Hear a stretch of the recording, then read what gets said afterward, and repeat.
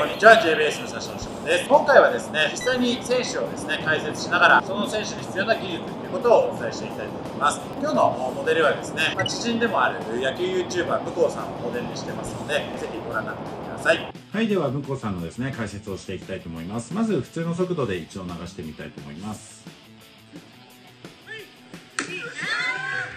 のような感じですね。で向こうさんの修正のポイントとしては、えー、足の使い方が主かなと思います、えー、着地をこの前の足がここで着地をしていきますね、えー、この時にこの後ろの足右の足のところが少し浮いてきてるっていうのが分かると思います。で、えー、なぜ浮いて来てしまうかっていうと、まあ、ほぼ設置のタイミングでもちろん回転は始まっていきますけれども体重移動ですね。ここが少し不足しているという点があります。ここの、えー、右側前足の鼠径部。前足のこの鼠径部ですね。ここに体重を移動していくっていうことが必要になってくるんですけどもその動作が、え、十分に行われないうちに、え、ちょっと早めに回転が始まっているっていう感じですね。そうすると右の足っていうのは少し早めに浮いていきます。かかとが、え、地面から離れてくるっていう動きが入ってきます。向こさんの場合はそこが少し出てきていて起こり得るエラー動作としては、まあ、横からなのでちょっと分かりづらいんですがこの右腰の部分ですね。ここの部分がちょっと外側に回りやすいです。つまり骨盤が平行に地面と平行にこう水平に回りやすい状態になるんですね。そうすると、まあ、胴体全体も水平に回ってしまうのとその足の動きによって、え、得られる大きな、え、メリットとしては体の傾きができます。こちらはえ、この後私の方でまた説明していますけれどもスイングをしてインパクトするときっていうのは体の傾きとインパクトバットは90度に近くなります。というかほとんど90度になりますね。90度になるので水平に回ってしまうとその体の中心線ですね、まあ、頭でもいいですし頭からこの下腹部まで、えー、ここまでの中心線がえー、あまり傾きができないまま行ってしまうので高めの方は対応しやすいですが他のコースですね。それより下のコースっていうのはちょっと対応が、ま弱くなってくるしづらくなってくるっていうような傾向があります。なので、例えばですが、ちょっと早めの変化球だったりとか、ストレートに近い軌道の変化球っていうのは、もちろんちょっと向こうさんと話したことはないですが、え、少し苦手なのかなというような、え、印象があります。もう1点は、えーと、少しですね、この後、回転をしていくときに、肩甲骨がありますね。胴体の真ん中の中心があって、まあ、ここを中心に肩甲骨というのはこう回転をしていくわけですね。回転というか動いていくわけですけれども、まあ、この動きが、え、少しスムーズに出てないかなと思います。特に前側ですね。前側の動きが弱くて少し、バットも倒れ気味で入ります。でこれは後ろの肘が中に入っていくことで回転を起こしていくんですけども前側が動かないと、え、少し行き止まりのような形になってしまうんですね。はまあちょっと分かりやすく言うと行き止まりのような形になってしまうので、えー、右側が、えー、動いたとしてもバットが倒れてくるというような傾向が出てきます。まあ、あのすごく悪いという感じではないですけれどもここの動作がスムーズになってくると、まあ、より高速に回ることももちろんできますしより近いボールですね、えー、にも対応しやすかったり速いボールに対応しやすかったり、まあ、スイング軌道そのものが安定しやすくなったりっていうような効果があります。というような感じですね。もう一度まとめると少し着地で右足のこのかかとの部分ここが早く回転を起こしてしまって浮いてきてしまう、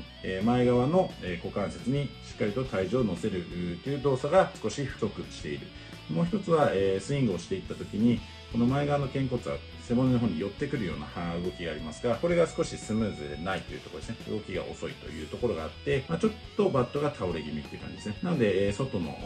スライダーだったりとか変化球っていうのには対しては、えその2つの動作が組み合わさってしまって、エラー動作が組み合わさってしまって、少し対応がしにくいのかなと考えています。えまたこの後解説と、それの修正の練習についてもお伝えしておりますので、ぜひご覧になってください。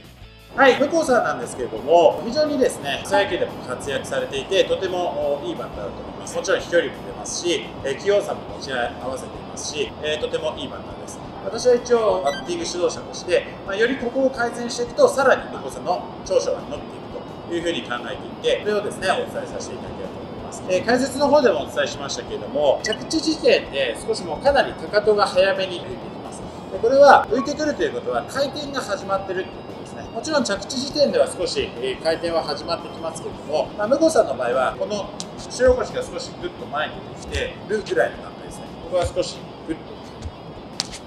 こう出てくるのでそれによってちょっともかかとがかなり上がりかけてきているというような状況になっています骨盤というのは構えて少し前傾してその前傾を保ったままですね体重移動していくんですけども、まあ、それによって、ここの軸ができてここの軸と90度のこれでスイングの軌道っていうのが出てきますえー、ムコさんの場合はその前傾姿勢がちょっと取れなくてですねすぐちょっと回ってしまうので、まあ、若干どちらかというと骨盤がすぐ水平に回ってしまうというような状態です。で体重移動が、えー、一言で言うとちょっと不足しているという状態になりますね、えー、起きやすい動作としては例えば向こうさんとまあはっきりと話をしたことはないですけどもおそらく水平に回ってしまうと、まあ、インコース高め、えであればそのままポンとこう出やすいっていうところはあるんですけどもそれより下のコースですね。低めのコースっていうのはちょっと対応がしづらくなってきますどうしても水平に回ってしまうとここの傾きが作れなくなってくるのでこの傾きだと90だとこの辺りです。まあもちろんもう少し傾いてはくると思いますけれども低めに行けば行くほど骨盤が水平に回りやすいバッター、まあ、すぐ回転してしまうバッターっていうのはミート率対応力っていうのが下がってくる傾向があると思います。では改善の練習方法なんですけれども1つ目はバッティングにおいて体重の移動の仕方ですね。荷重をして前足にグッといくと。で少しこう骨盤は横に動いてから回転していきますけどもこの動きをしっかりと作っていくっていう必要があります。で今回はドリルの名前はないんですけれども手を組みます。手を組んでボールをその上に置きます。でボールは、えー、ずっと天井向きになるようなイメージですね。でやります。で、えー、骨盤足のセッティングはパワーポジションを作りたいので、まあ、お尻を少し引いて少しももが張ってきたら落とす。もしくはまあ着地した時の姿勢だったりとかあとはふっとこうジャンプをする瞬間の姿勢だったりとか、まあ、自分なりに取りやすい姿勢っていうのをまず作ってください。でこの状態を作って象のですね動物の象の鼻のようなイメージでブラーンと下げておきます。であとはそのまま股関節に溜めて前の肩をこのまま顎にグーッときます。でこれはこの後このような感じで振っていくんですけども、えこの手の方はまあ、っすぐですね1本線がぐーっとあるような感じでここをなぞっていくようなイメージでいきます。これはなぜかというと手がですねすぐこう横回りしてしまうというのは胴体も骨盤も横回りしてしまう水平回転してしまうというところにつながってくるので、まあ、今向こうさんが作っていきたい動作とはちょっと離れています。なので、え、こうしてもらってで骨盤を回すというよりはそのまままず横に、移動していく体重を移動していく。前足に視点を作るんです。回転をする前段階のその股関節の動き、体重移動の動きっていうのを作っていきます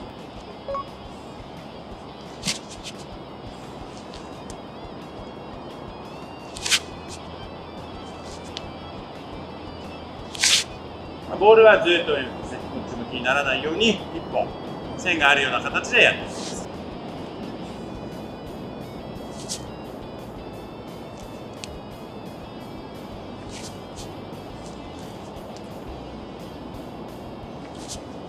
はい、えー、このような感じでやってみてください。で、実際にもう一つですね、今度はドリル、えー、バットを振りながらやっていきますけれども、リニアステイドリルっていう練習ですね。えー、動きは全く今の動きと変わらないです。え、頭、胸、へそ、ここの真ん中がボールと合うようにします。で、このままお尻を引いてセッティングですね。でちょっとこのままだと地面に当たってしまうので、まあ、場合によってはちょっと短く調整をして行ってください。ちょっとポイントとしては、少し肩をぐっと丸めて、少し前にぐっと突き出していきます。であとは、このままぐっとトップを作って、え今のこの動きですね。でなぜボールを置いてるかというと頭がしっかりとボールのラインから前に行かないことですね。これが重要なポイントです。一緒にこのままドーンといってしまうのをスウェーと言ったりしますけども、まあ、スウェーしてしまうとあまり体の使い方としては理想的になってこないので、まあ、頭の位置が多少は OK ですけどもできるだけ前に行かないようにしてそれより下の部分ですね。ここの部分をしっかりと動かしていく。まあ、ちなみにこの状態を、え上下分離だったり回転差粘点差と言ったりしますけれども、まあ、そういった動きに近づけていくためにもこの練習をしていきます。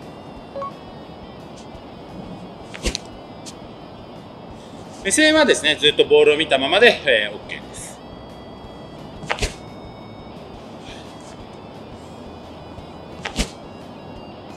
はい、えー、このような感じで軸足側から前足の方股関節の移動ですねまだ回転は起こさないで先に体重移動してでそこから回転をさというような流れを組めてくるといいかなと思いますはい。で、2つ目の向こうさんの改善ポイントなんですが、ちょっとですね、スイングをしていくときに、まあ、水平回転しているということもあって、まあ、若干バットがやや倒れ気味、ちょっとまあ外に開き気味っていうんですかね、こういうような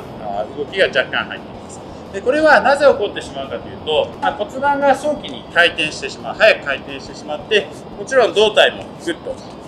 少しグッと回転してくるので、まあ、それでちょっと離されるような動きっていうのがこう出てくるわけですね。まず下半身の動きが前提としてあってさらに重要になってくるのはやはりこの肩周りとか胸の動きですね。この動きはしっかり取れてくるということが重要です。ちょっとまあ、え、特に前側の動きが少しこう硬い、え感じ動かない感じがあるのでどうしても右側がぐっと入っていくんですけど、こちら側でリードしていくことができないので、バットをそのまま前に進めていくことがちょっと苦手ですね。ただ、向こうさんの場合はかなりの筋力と当て感ですね。その、まあ、目で処理してミートしていくという、その、もともと持ってるその能力っていうのは非常に高いので、ある程度対応はできてくると思いますけれども、まあ、例えば、えー、もっと速い140キロ、えー、150キロのボールになった時に、ちょっと対応しづらいだろうなっていうような傾向は出てくるます。なのでよりスムーズに回転を起こせるためにこの肩周りの動きをしっかりと作っていくことによってさらにですねいいバッターになっていくと思いますのでそちらでお伝えしていきたいと思います。練習の方法は足固定スイングというものですね。足を固定してもらって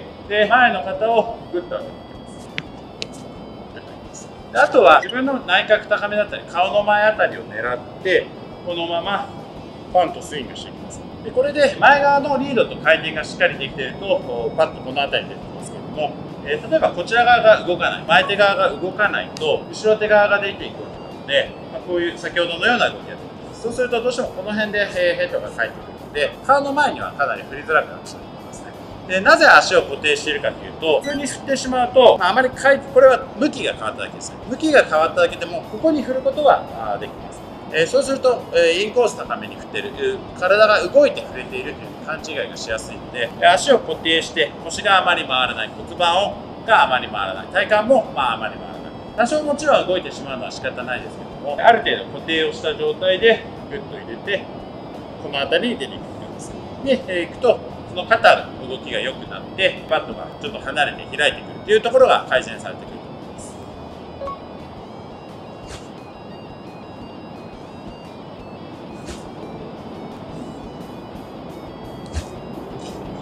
はい、このような感じでやってみるといいかなと思います。えー、簡単にまとめると、体重移動が不足してしまって、すぐかかとが上がってくる。それによって、ちょっとすぐ横回りして水平回転してくるので、腰がベース側に出てしまって、バットはちょっと開いてくる